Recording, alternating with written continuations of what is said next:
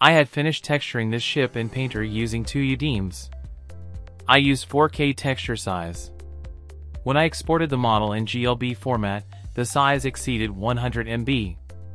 That was a problem. I was supposed to deliver the final model with texture under 100 MB. Two UDIMs of 4K resolution drastically increased my file size. So, I needed to texture the ship using a single UDIM. But, what about the texture that I had already done? Altering the UVs will destroy the texture I already made. Luckily, there is a solution for this. We can actually transfer the texture from two UDIMs to a single UDIM preserving our work. This process is just like transferring texture from high poly mesh to low poly. This was my UV layout in two UDIMs. For this process, we need to back up our old UV layout to map channel 2. Let's move the UV layout to channel 2. For safety, I will collapse all. Now I have same UV layout in channel 1 and 2.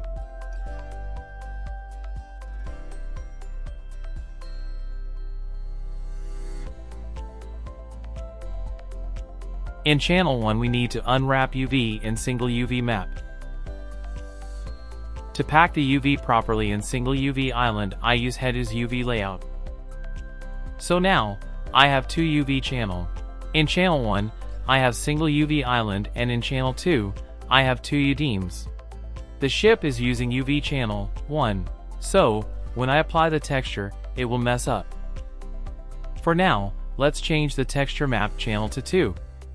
It is because I have moved the original UV map to channel 2. Now, let's combine the separated mesh to single. Once again let's check the UV in both channels. All fine here. Now, go to Rendering. Render to Texture. Check if the mapping coordinates are in channel 1 or not. The channel should be set to 1 if not. In the output click on Add and add diffuse map. Choose the size you want. Choose the location and file type you want to export. Then hit render. Render is done. Now, everything from 2 UDIMs should be adjusted in single map. Time to check loading the texture. Let's drop new material. Now let's drop our new texture. And let's assign this. Perfectly fine. We can check the texture in UV Editor viewport. The diffuse map is done. Now we need to transfer metallic and reflection map too. If you have a single file for everything repeat the same process. All should be fine. But here I have a combined texture made for Unity. I don't have single file for metallic and reflection maps. Let's transfer this too.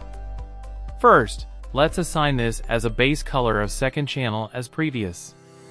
Since I had merged the mesh into a single, it will mess up while assigning the texture. We need to select the faces of each UDIMs to apply the texture. But first, let's add multi-sub material to combine the texture.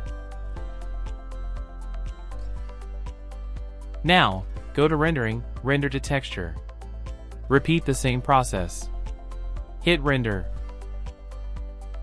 Our texture will render like this. Let's see if the metalness and reflection map is correct or not.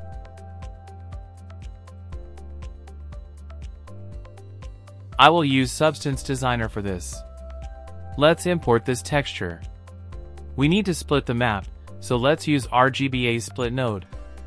Click on the output dots to check the output maps. R channel stores the metallic map, B channel stores AO map and B stores roughness map. In our case roughness map is damaged. So, we need to extract roughness map from our previous 2 UDIM texture.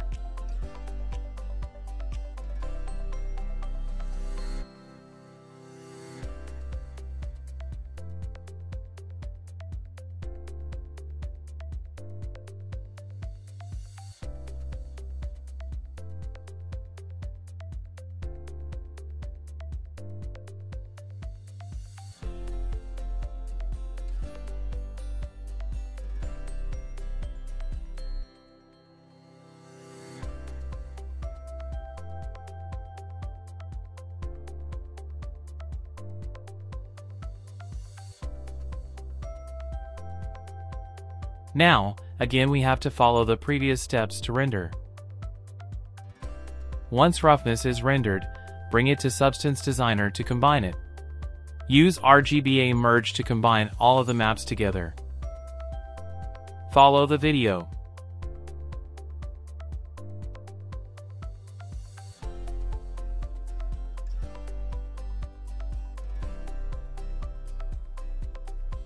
From the RGBA merge node, you can export the merged textures as PNG.